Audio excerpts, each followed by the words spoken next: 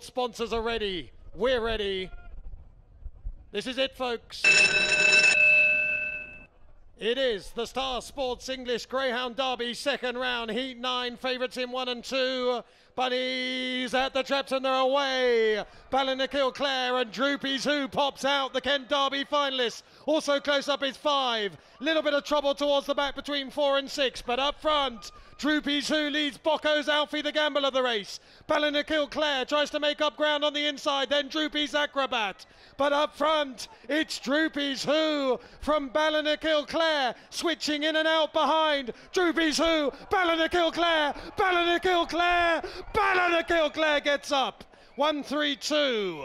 Ballinakil Clare, Droopy's Who, and Droopy's Acrobat. Great effort from off the pace for a greyhound who likes to lead.